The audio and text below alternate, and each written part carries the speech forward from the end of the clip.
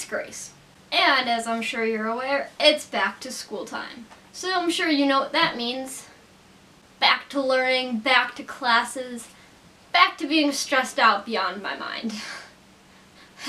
ha ha ha No, like really, I've been back two weeks and I'm already feeling the burn. So what I'm going to do today is I'm going to share some of the things I do when I'm stressed. These aren't necessarily like tips per se, but they're just sort of things that I do to sort of deal with it. So if you find them helpful, great. If not, just sit back and enjoy, I guess. So the year is 2016, which means my new favorite thing to do when I'm freaking out is color. Color. So I got one of these like adult coloring books for Christmas. I haven't like used it a ton, it's it's a pretty chill thing to do. Like it definitely like is relaxing.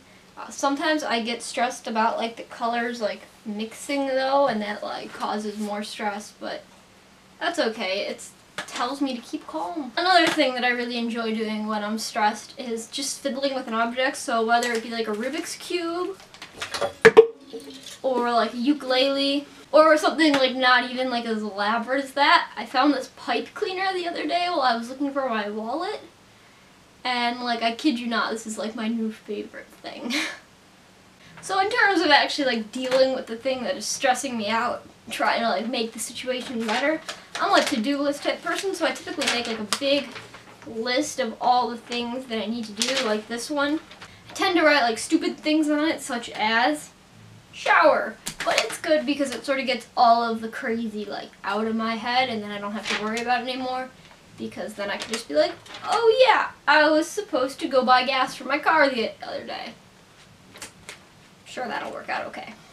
Another thing I find helpful besides just making a list is just doing a thing, whether I go and I run or if I have to like go to work, even if it's not something that's like stressing me out like on that list, just doing something to get my mind off of it tends to work out pretty well. It's not always productive if I'm like doing something else when I should be doing things, but you know, it's keeps the hair from falling out.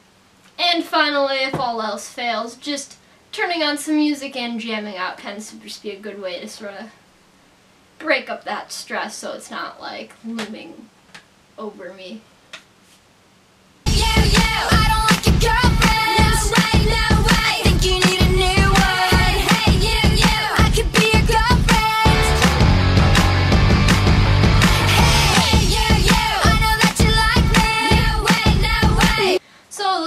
like I said before, the things that I do when I'm stressed. In the comments below, tell me the stuff that you do when you're stressed out. And hopefully we could get through this together. Only, you know, 270 days till graduation.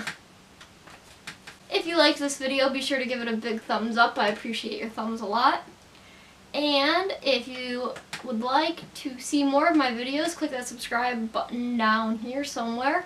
And you'll see when all my videos come back out. Back out. Out.